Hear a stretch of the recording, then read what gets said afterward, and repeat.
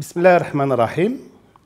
سجلت الطبقة العاملة المغربية بقيادة الاتحاد المغربي للشغل بارتياح كبير قرار الولايات المتحدة الأمريكية بالاعتراف بسيادة المغرب على صحرائه المغربية.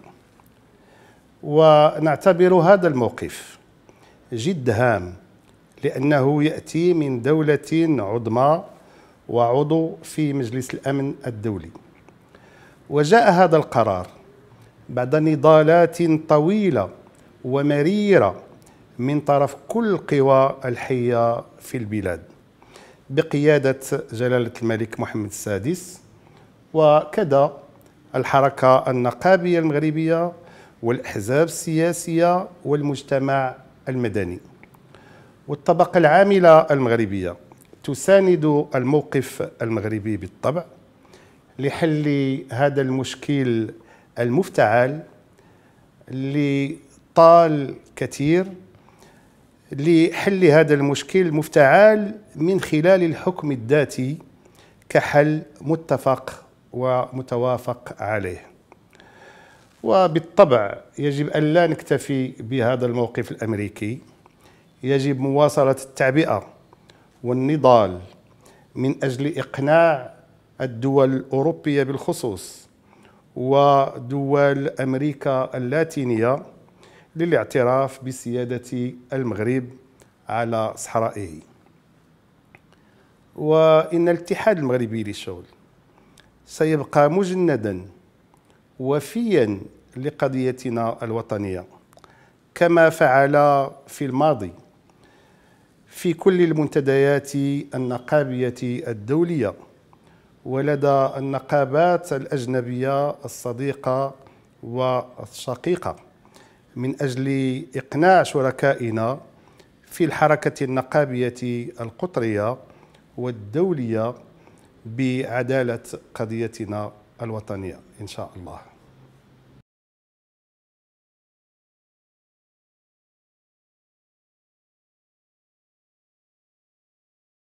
نحن كمركزية نقابية مستقلة عن الأحزاب السياسية وعن الحكومة بالطبع نعتني بالشأن السياسي.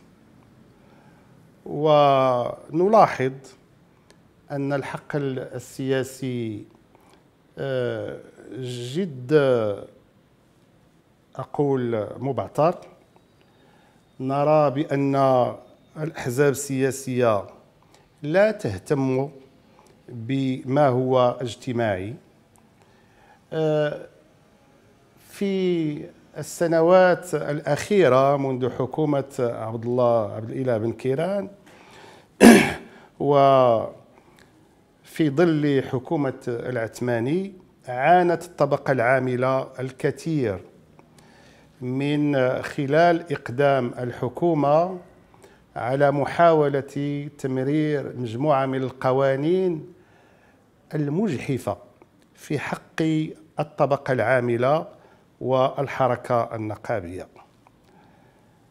منها على سبيل المثال الحصر قانون التقاعد لقانون رجعي تم تمريره في ظل حكومة عبد الإله بن كيران آه، في ظل حكومة العثماني حاولت هذه الحكومة بالأحزاب ديالها اللي كتكونها بمحاولة تمرير كذلك قانون تنظيمي للإضراب ونحن نطلق عليه القانون التكبيلي للإضراب. وكانت آخر محاولة في ظل هذه الجائحة آه، محاولة تمريره هو القانون النقابات فتصدينا لهذه الحكومة وراسلنا الأحزاب السياسية و وللأسف هناك بعض الأحزاب السياسية اللي مساندة للحكومة آه، لم تتخذ الموقف المناسب. بالخصوص في هذه الفترة الحالية في ظل الجائحة فهي حكومة وأحزاب لا تسمع ولا تحاور ولا تفاوض. مثلا فيما يخص فقدان 600 آه، ما يزيد 650 ألف أجير العمل ديالهم. آه، تقدمنا بمجموعة الاقتراحات سواء كمركزية نقابية أو كفريق نيابي في مجلس مستشارين. فالحكومة لا تسمع كما قلت. مثلا آه، تعويض عن فقدان الشغل لائق رغم أننا قابلنا السيد رئيس الحكومة والوزراء المعنيين من أجل هذا التعويض عن فقدان الشغل ولاجت الحكومة آه، تسوف من أجل اتخاذ هذا القرار. فحينما أقول الحكومة أقول الأحزاب السياسية المكونة لها وللأسف اللي آه، ملهية حاليا آه، في التراشق بينها. في التحضير وأقول التحضير بين مزدوجتين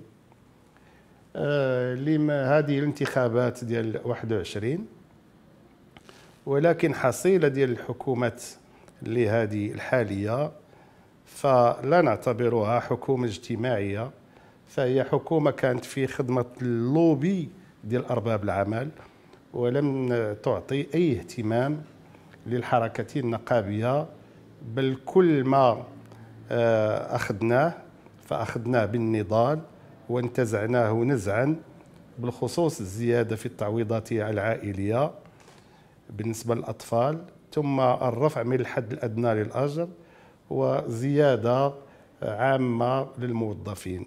ولكن مطالبنا لا زالت قائمة.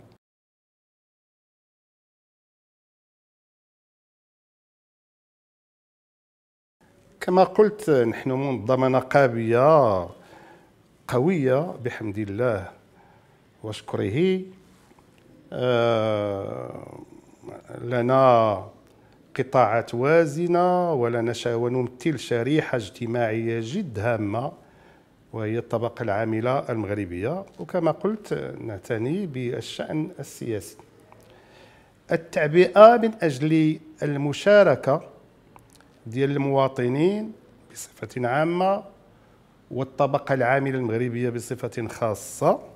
ستكون آه، لأن هذا هو السلاح من أجل آه، اتخاذ موقف لدى بعض الأحزاب السياسية المشاركة في الحكومة والتي كانت تهاجم من خلال الوزراء ديالها.